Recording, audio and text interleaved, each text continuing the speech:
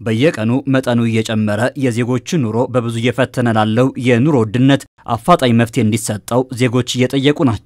በገበያ ውስጥ በአንዴ ዋጋው እጅግ እየናረ፣ በሌላ በኩል ደግሞ ምርቱ እየጠፋ ህዝቡን በትልቁ እያማረረ ያለው ደግሞ ዘይት ነው። ለዜጎች ጥያቄ ምላሽ በመስጠት የዘይትን አቅርቦትና ዋጋ ማሻሻል ኢኮኖሚውን ለማረጋጋት የራሱ ሚና ስላለው መንግስት ልዩ ትኩረት ሰጥቶ እየሰራበት መሆኑንም አስታውቋል።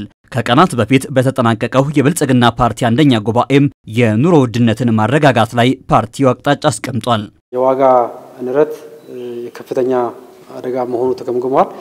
በዚሁ መሰረት የኑሮ ውድነት ላይ የሚያመጣውን ችግር ለመቅረፍ በመንግስት በክቡር ጠቅላይ ሚኒስትሩ አመራር መሰረት ከፍተኛ ትኩረት በመስጠት አፋጣኝ መፍትሄ እንዲሰጠው ደረጃ በደረጃ ሁሉም የሚመለከታቸው አካላት ወደ አፋጣኝ መፍትሄ መግባት እንዳለባቸው በጉባኤው የተቀመጠ አቅጣጫ ነው። በዚሁ መሰረት በቅርቡ በተለይ የዘይት አቅርቦት ላይ ከአቅርቦት አንጻር እንዲሁም ከዋጋ አንጻር አለመረጋጋት ተከስተዋል። የዋጋ መናሮች ተከስተዋል።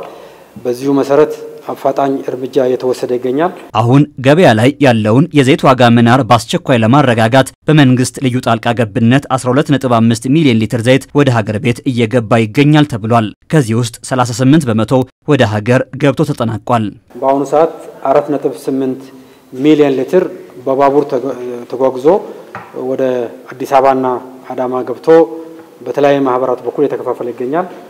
ቀሪው 7.7 ሚሊዮን ሊትር ደግሞ በጅቡቲ ከዛሬው ቀን ጀምሮ እየተጫነና በቀጣይ ቀናቶች በተከታታይ ለሁለት ሶስት ሳምንታት የሚገባ ይሆናል። ወደ ሀገር ገብቶ ወደ ገበያ እየተሰራጨ ካለው የዘይት ምርት ባለፈ በቀጣዮቹ ሶስት ወራት 150 ሚሊዮን ሊትር ዘይት እንደሚያስገባም መንግስት አስታውቋል። የዘይት ምርቱን ሁለት የመንግስት የልማት ድርጅቶች እንደሚያስገቡትም ተገልጿል። በቀጣይ ወራቶች በእያንዳንዱ ወር 50 50 ሚሊዮን ሊትር በማስገባት በገበያ ውስጥ ያለውን የዘይት አቅርቦት በከፍተኛ ደረጃ የምናሳድግ ይሆናል።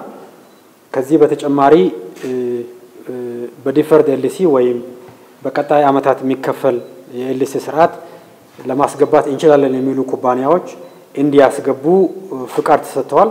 እየገባ ያለው የዘይት ምርት ለተጠቃሚው በአግባቡ እንዲደርስ የሚያስችል አሰራርም ይዘረጋል ተብሏል። ገበያ ውስጥ ያለውን የአቅርቦት ችግርና የዋጋ ምናር ለመቆጣጠር ከውጭ በስፋት ማስገባት በራሱ ብቻ በቂ ስለማይሆን ደግሞ የሀገር ውስጥ አምራቾችም በሙሉ አቅማቸው እንዲያመርቱ ይደገፋሉ ተብሏል። የውጭ ምንዛሪ አቅርቦት ከድጋፎቹ መካከል ዋነኛው ነው።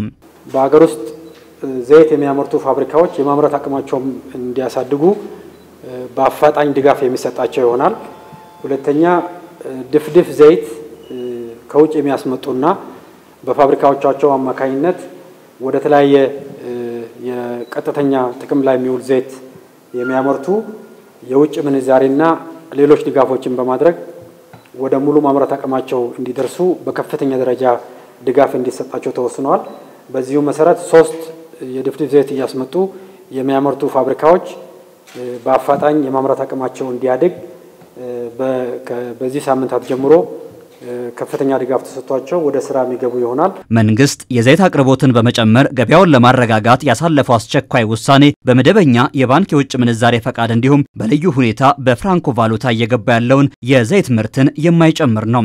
ባለፈው ዓመት ኢትዮጵያ ካስገባቸው 1.4 ቢሊዮን ሊትር የምግብ ዘይት ውስጥ አብላጫውን ድርሻ የያዘው ፍራንኮ ቫሉታ ነበር። አቅርቦትን ከማሻሻል አምራቾችንም ከመደገፍ ባለፈ መንግስት በታክስም እየደጎመ መሆኑን ገልጿል። የህብረተሰቡ ላይ የዋጋ ጫና በምግብ ነክ ነገር እንዳይመጣ በተለይ በዘይት ላይ ከማንኛውም የከስተምስና ሌሎች ታክሶች ነፃ መደረጉ ይታወሳል። በዚሁ መሰረት እስከ ባለፈው ወር ድረስ ባለፉት ሶስት ዓመታት እና ሁለት ዓመታት ከገባው የምግብ ዘይት 23.7 ቢሊየን ብር የታክስ ነፃ ተደርገዋል ማለት ነው። ይሄ የህብረተሰቡን ኑሮ ለማሻሻል የዋጋ መረጋጋት እንዲኖር አቅርቦት እንዲሻሻል በከፍተኛ የሆነ የፖሊሲ ድጋፍ የተደረገበት ማለት ነው። እንግዲህ ከዚህ በተጨማሪ የነዳጅ ምርት ዋጋ በዓለም ላይ የጨመረ መሆኑ ይታወቃል። በከፍተኛ ደረጃ የነዳጅ ምርት በጨመረው ልክ መንግስት አልጨመረም። በዚሁ አማካኝነት ባለፉት ሁለት ሶስት ዓመታት ከአንድ መቶ ቢሊየን ብር በላይ መንግስት ደጉሟል ነዳጅ ማለት ነው። መንግስት የኑሮ ውድነትን ለማሻሻል ከዘይት በተጨማሪ በሌሎች ዘርፎችም ተጨማሪ እርምጃዎችን እንደሚወስድ አስታውቋል። በኢኮኖሚ ውስጥ ምርታማነትን ማሻሻልና የገንዘብ ዝውውርን መቆጣጠር ተጠባቂ እርምጃዎች ናቸው። በአጠቃላይ በኢኮኖሚ ውስጥ ያለው ምርታማነትን የማሻሻል ጉዳይ ትኩረት ሰጥቶ የሚሰራ ይሆናል። በተለይ የግብርና ምርት ላይ የስንዴ ምርትና ሌሎች የግብርና ምርቶች እንዲጨምሩ የተሰራ ያለው ጠንካራ ስራና ውጤት ተጠናክሮ የሚቀጥል ይሆናል።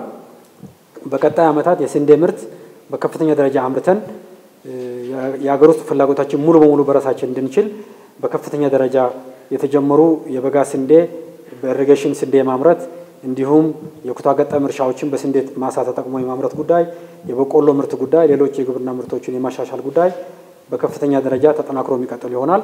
ከዚህ በተጨማሪ በአጠቃላይ በፊስካል ፖሊሲው እንዲሁም በሞኔታሪ ፖሊሲ አማካኝነት የገንዘብ አቅርቦትን በመቆጣጠር ተጨማሪ የዋጋ መረጋጋት ስራዎች የመስራት ስራ በከፍተኛ ደረጃ የሚሰራ ይሆናል።